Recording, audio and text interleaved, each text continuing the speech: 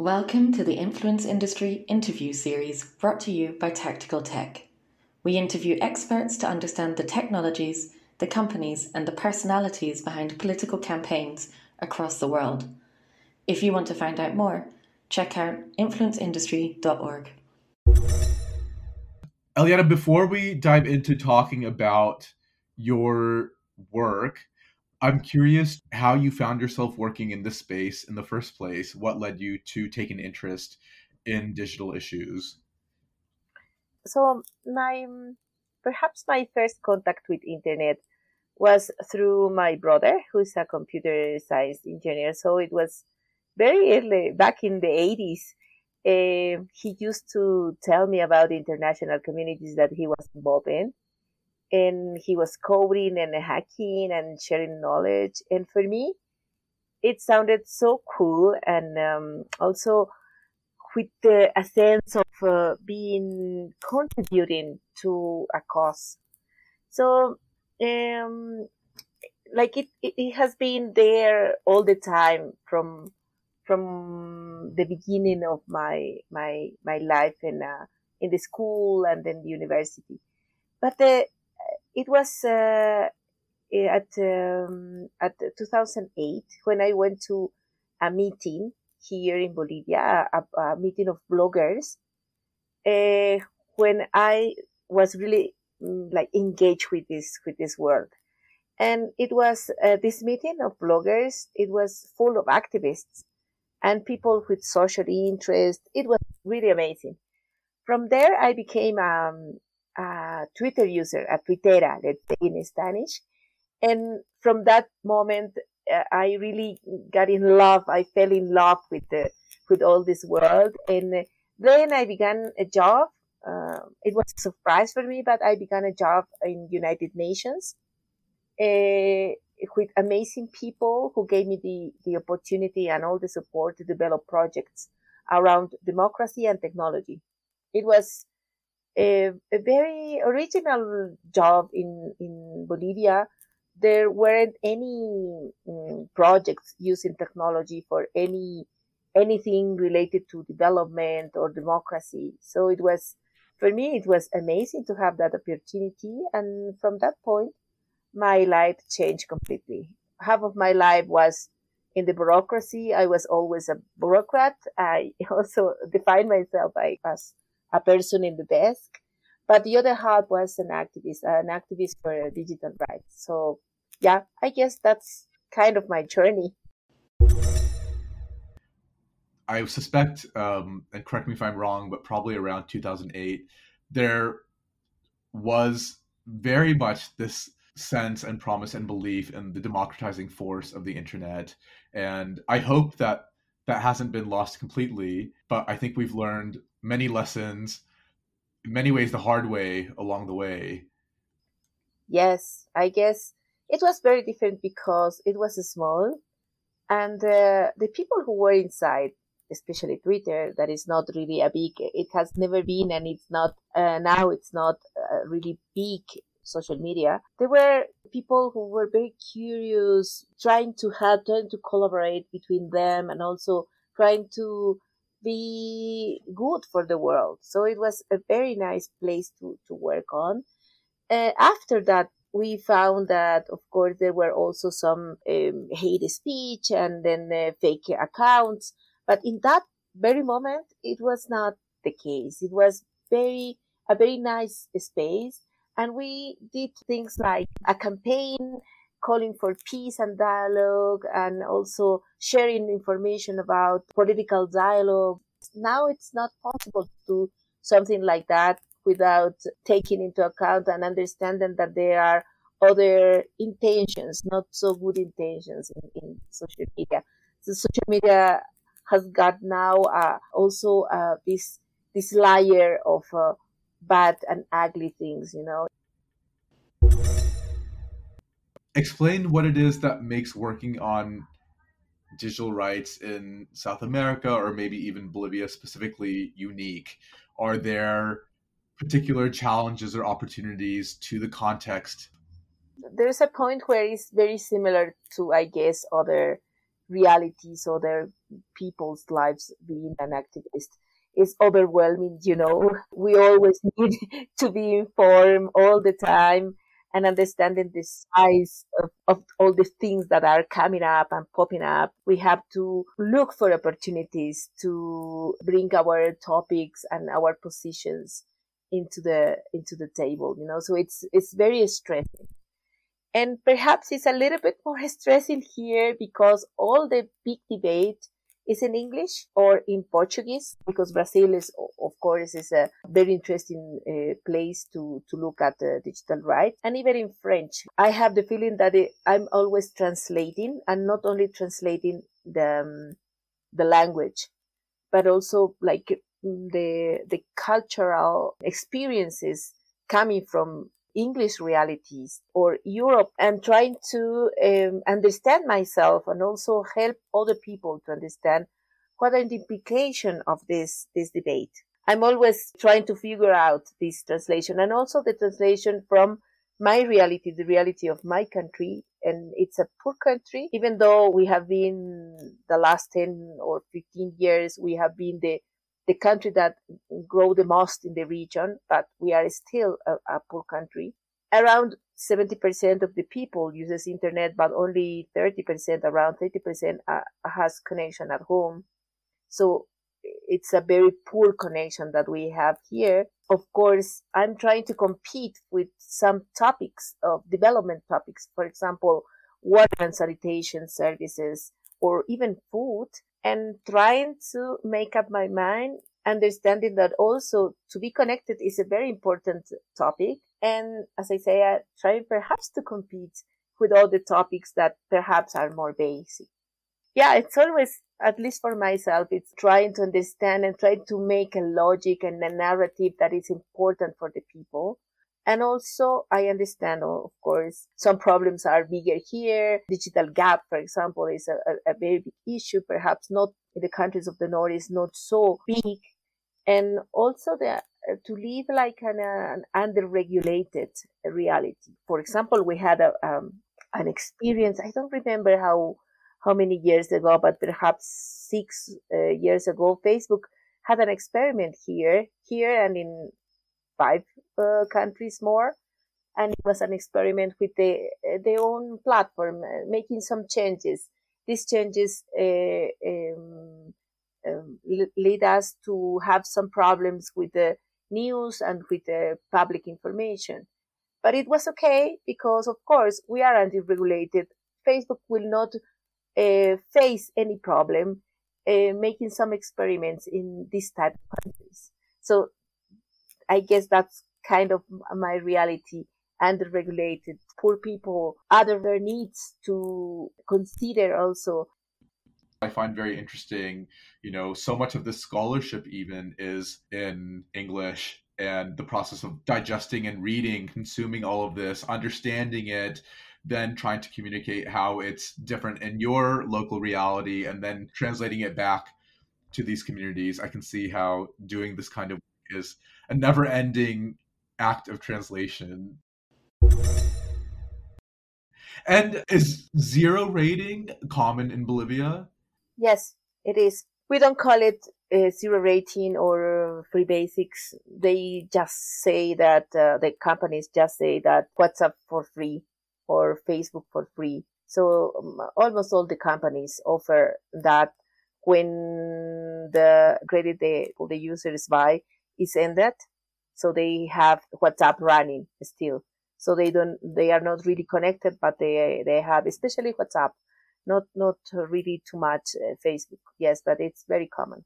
And that's kind of a problem, of course. I was just thinking, in case people listen to this and they don't know what zero rating is, it's when like a mobile data provider or an ISP, an internet service provider, doesn't charge people money for their data use on particular websites and services. So in this case, for example, you know, you can use WhatsApp to your heart's content, no data limits or charges on your use of WhatsApp, but of course you are confined to WhatsApp. If someone sends you an article about a story, you don't really have the ability to go to the internet and fact check it independently. For example, you're confined to to the particular service that they're not charging you for.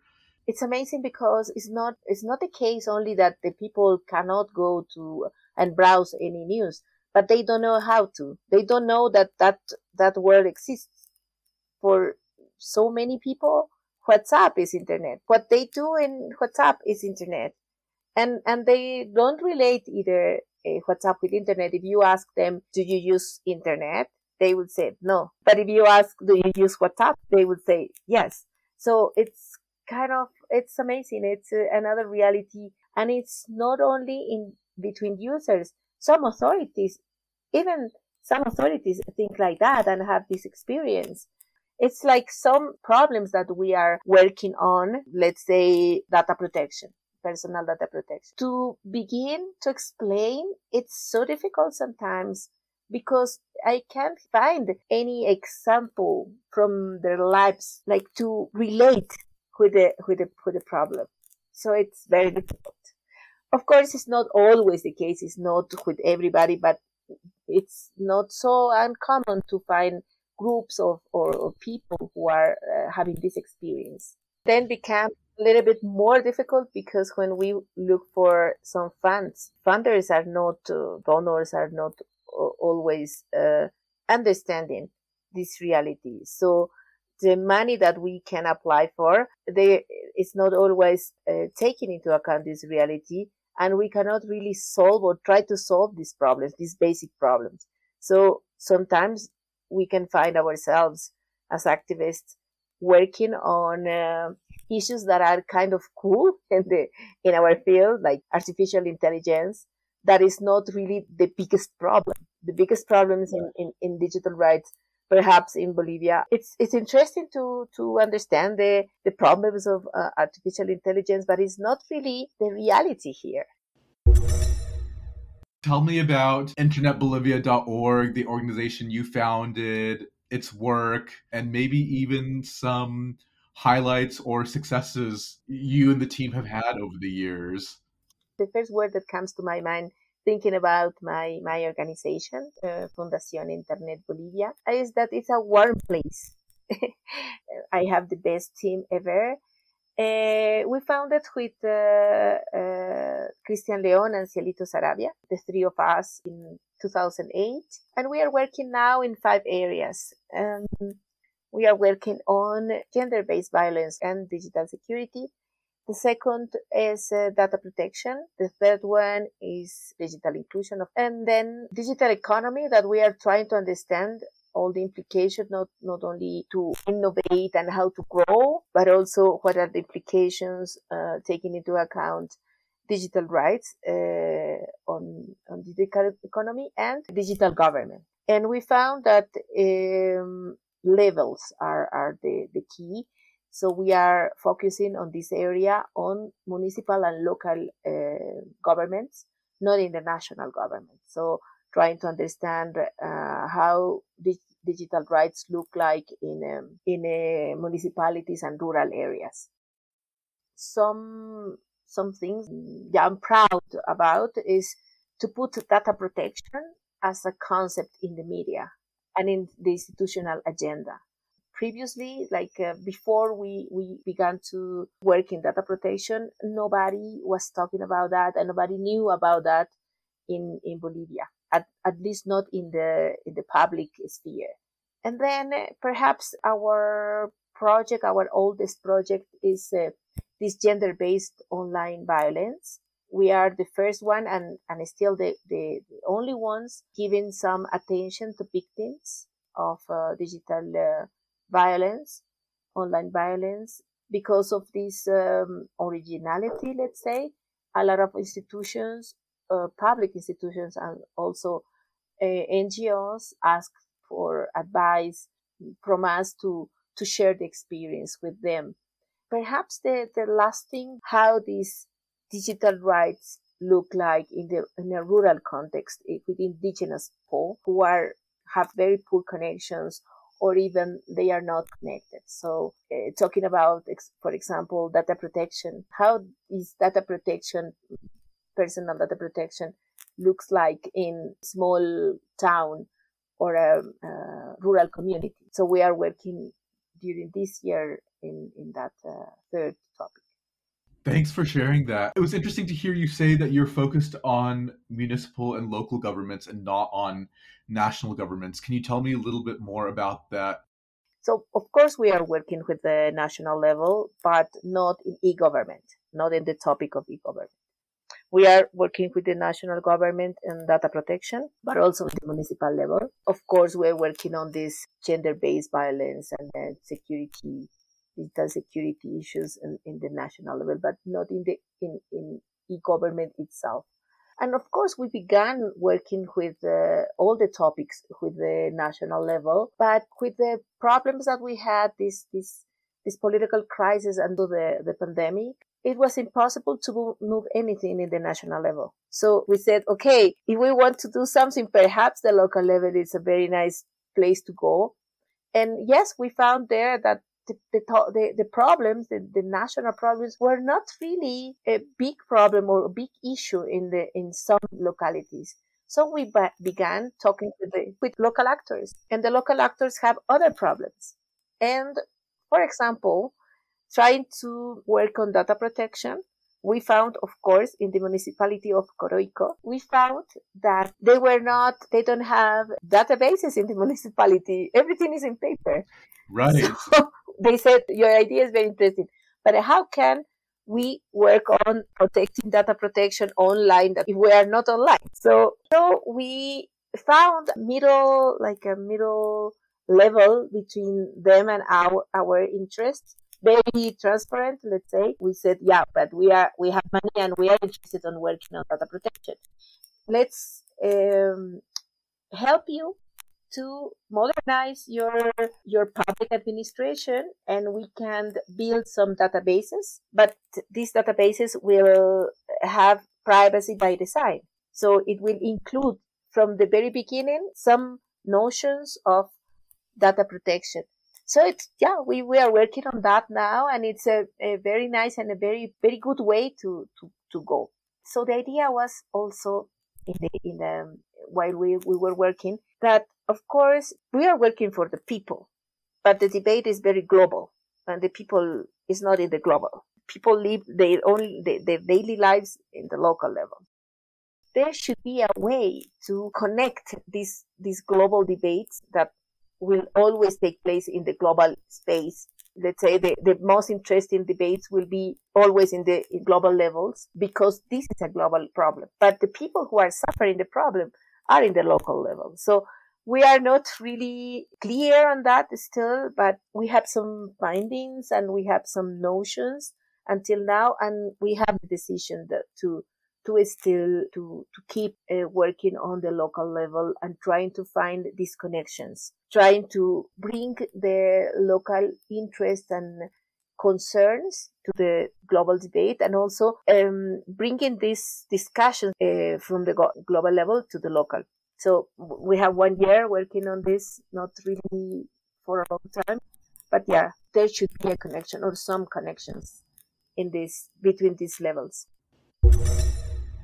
You were just talking, Eliana, about the political crisis in Bolivia, and you were focused on identifying disinformation ecosystems around the time of this crisis from like October 2019 to October 2020, but I tried to give a very brief summary, and you can correct me if I'm wrong because you know so much more about this than I do. But just to help set the stage a little bit, October 2019, elections were held in Bolivia, and then there were mass protests afterwards when allegations of fraud and voting irregularities emerged. The president at the time, Evo Morales, faced a rebellion from the police, and he was requested by the military to resign, and and he did.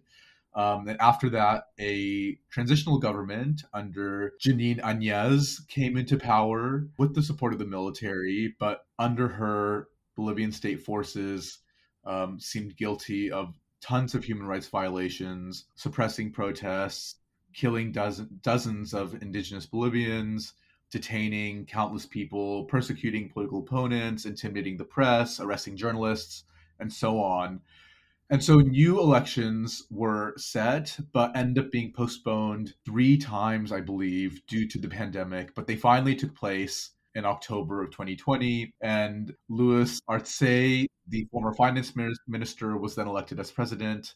And if I understand correctly, it seems that Jeanine Áñez, the the interim head of state, has meanwhile been sentenced for up to 10 years in prison for breach of her constitutional duties. Last I read it, it sounds like the decision is going to be appealed.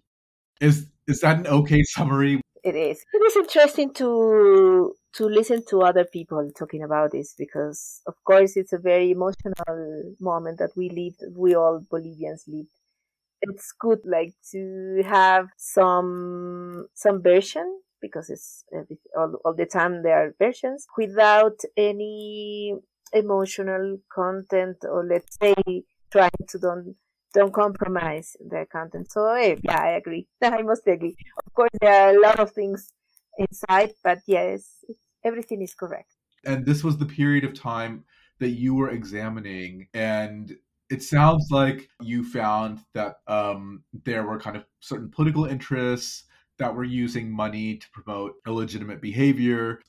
Yes, let's say Bolivia is a poor country, so we don't really have a lot of money to invest during elections. But we have during this period not only crisis, but also three elections processes and also a lot of international actors. So it's a very good period to work on, to, to research on in Bolivia because it's not the, the all the common case in Bolivia to have so much money and so much so many international actors what we have. So my, my topic is about an identification of the ecosystem of disinformation, like let's say a national ecosystem of disinformation so it's a scheme. And this scheme identified 10 types of actors playing in an in a national i have the ambitious like uh, to say that any eco, national ecosystem of disinformation. So we have this uh, financial donors say. We have also this uh, political will that we need somewhere in some actors. Some people who are preparing and making up the strategies the strategy is only I'm talking about not for all the campaign, all the political campaign, but specifically for the digital political campaign. And then, of course, what you found, and it's not really common in the literature, these data providers and data analysts. Because if you want to uh, run an uh, disinformation ecosystem, you need data. And if you don't have, let's say here in Bolivia, there are not really many many databases that you can use, but there are some.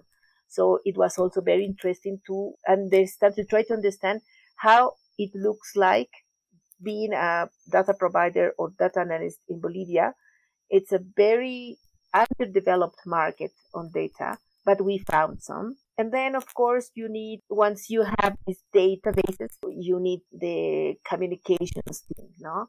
Like the people who are producing pieces of uh, communication and then they uh, send it to a, a, sphere of spreading the, the information. Massive actors, interactive actors, and also the citizens in a, in a sphere that are sharing information and spreading information and viralizing information.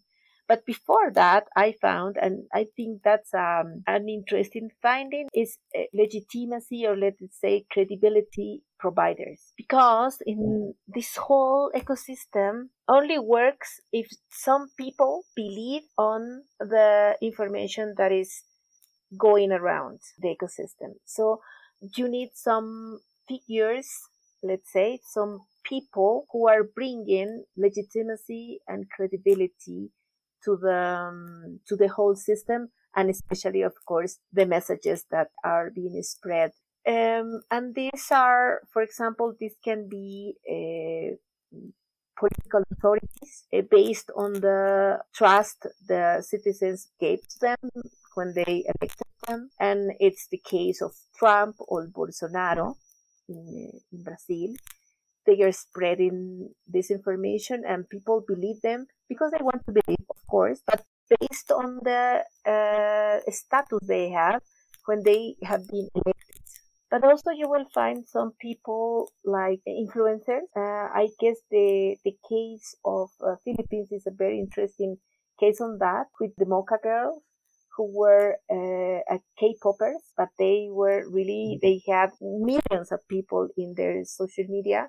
So some people, not all the, not the whole society, but some people trusted these girls, teenagers, especially young people, and they, uh, the platforms they have to uh, support Duterte. So you have again a credibility actor there. Perhaps what they were saying it was not really truth or it was half truth, but the teenagers they were following them they will believe everything that they said. There also you will find some journalists and media this washer media like the intermediate media that are not really mainstream or independent media but they are like clickbait media. But i guess it's especially journalists because in bolivia but also in the world journalists are going through a very special um, situation. They are stressed, media are stressed because of this uh, need to adapt to the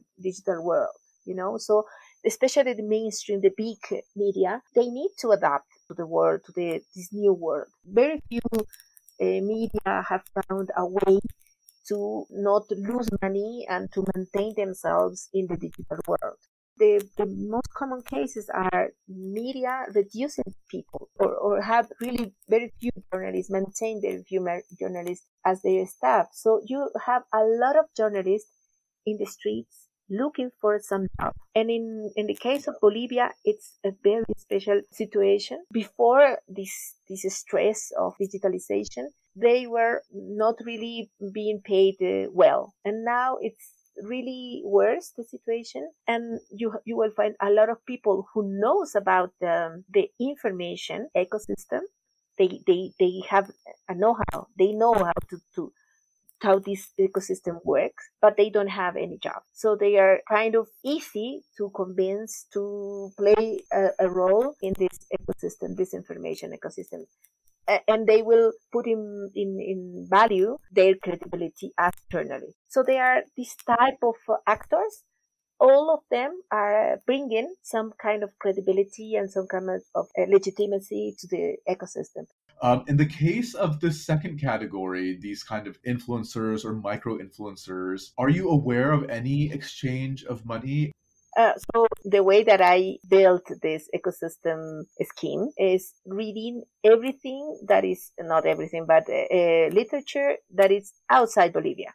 So first, whatever is uh, written outside Bolivia, it was worth, and I identified this scheme. After that, I uh, try to interpret, uh, find information from Bolivia reality to check if this scheme works for Bolivia. So I was talking about Philippines because the first uh, step for to build this scheme. Influencers are usually, uh, I will say usually, but perhaps always local. But when a marketing company uh, is beginning to develop a campaign and uh, a disinformation campaign in a country, one of the first things that will they will do is to identify these local influencers and try to pay them for doing something, some uh, spreading some some information. But sometimes, as in Philippines, the the Mocha girls, I think they they perhaps they they receive money from the government. No, I don't think uh, from a marketing company, but they will really support Duterte because they were interested in politics. At least the leader, she was interested in politics because she wanted to get into politics and actually was president. He hired her for the communications ministry or vice ministry, I guess. I, I don't remember the exact uh, name of the public institution.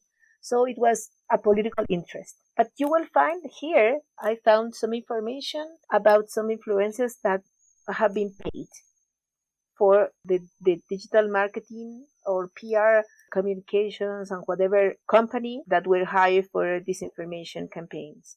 So I made myself the, the question. If I am contracted for a campaign, a disinformation campaign, what are the steps I will do? If I'm doing this uh, as a as professional, let's say, what I will do. And uh, the first thing is to to to duplicate uh, media sites.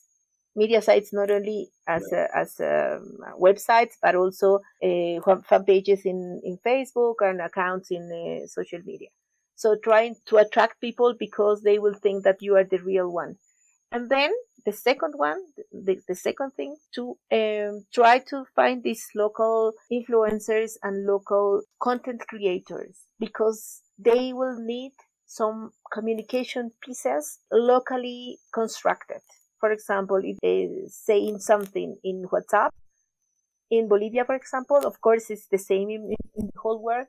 They will speaking as we speak in La Paz in the south of La Paz because we have different ways of speaking of pronouncing the R in La Paz in the south in the north or and we are not a big city we are 1 million population so it was amazing to understand that they were building these these communication pieces so locally with the the words that we use the the the sound we make with the, the, the word. So they need these cheap content creators and influencers. So they will try to pick to, to understand who are them to first to hire them and then to hire them for the production of the media production but also for spreading the information it depends on the on the place but uh, because of course in philippines you have these big k-poppers and here you don't have that and and uh, as far as I know, no other musician was hired, but perhaps I'm not sure. But they do have uh, K-popers in Colombia. It was an interesting case during the Paro Nacional. There were some K-popers, uh, how do you say, the, uh, making dirty the hashtag of a, a Twitter. There was a campaign from the Ministry of Defense, and K-popers um, used this hashtag for other other topics, not the the ones that uh, the Ministry of Defense were using for. So they were also activists in that in that sense. You were talking about, of course, any disinformation scheme requires data, and that the data market you're saying in Bolivia is quite underdeveloped, but you found a few. What kinds of organizations were these, and um, were they based themselves in Bolivia as well? In, in in US, there are a lot of data brokers, but data brokers are not really regulated in the US, but are legal. They found a way to be legal. They say that they are not selling data, but they are renting data. Yeah anyway they are kind of, of regulated and you can find legally these data brokers and you you can buy databases personal databases from them. But in bolivia it's under regulated so we don't have these data brokers as, as itself as legal ones. So who are them? Are there some data brokers or where if you want if you need databases here where you will go? First there are some leaks. Uh, for example, it's very famous here to say that the databases of voters have been leaked many times. So if you go to a, a black market here, that is a big market and everybody goes there, we go there to, to buy our stuff. You will also find this database there, a CD, and it will be like $5 to buy that. so it's kind of easy in that way. And you will find some of these databases, not only this one of voters, but also databases of anything, supermarkets or um, some public uh, database from people who were hired to, to do some analysis with them and they keep a copy and then they will sell the database. So it's a very, how to say, it's a black market. It's a very enthusiastic black market and if you if you need to develop um, a database that can show some profiles of voters, uh, you will also use information from Facebook. You will also have some more formal companies that are not based here. They mention one, Bunker DB, that I guess it's based in Uruguay. And they say that they have 1,000 clients in South America. And they are selling services, profile services for political uh, campaigns, but also for commercial campaigns. And you will find a lot of uh, companies in Mexico. Mexico seems to be uh, like the, the country that has more know-how on this. And actually, I found three companies here in Bolivia uh, that were hired for uh, disinformation campaigns and all three are based in Mexico. Yeah, so you will find also these, they are more analysts, let's say. Databases are more local and it's, you need to be here and ask, like, who has some, some database and you will get some database and you, then you need a, a data scientist to organize all these things and to clean all the databases and uh, have an, uh, a sense of what you are looking for and profiling. Campaigns are aware that they need data. They are getting data and they are analyzing data for political objectives. And of mm. course, it's what they talk about. Like they, they differentiate the campaign A and the campaign B. The campaign A is the clean one and the campaign B is the dark one. So data is u- used for both type of campaign. I understood that this is a market thing. So it's, yes, it's important data, but also it's important these media producers, you know, is small and local ones. Uh, but also, for example, we, we had here some media pieces that were produced in Ecuador or Venezuela. So mm-hmm. they are not local all the time. So this, the whole ecosystem is driven by money. Yeah, it's, it's a market thing. So it, they are like uh, when you say they are proud of, for example, they have a lot of clients. Yes, because it's a marketing company. A marketing company without these these information services will act the same. They are selling things. They are selling services, but it's the whole system. So mm, somebody has money to to contract services. They will find uh, companies in different in the different phases. So is it possible to stop this? I'm not sure really. It's it's a market driven ecosystem as I see. If you like uh, you neutralize you you eliminate some of these credibility actors, they will pop up other ones because the system need, needs function. So it's we, we should think about uh, answers for the whole ecosystem. Yes, I totally agree. It is an industry and it is market driven.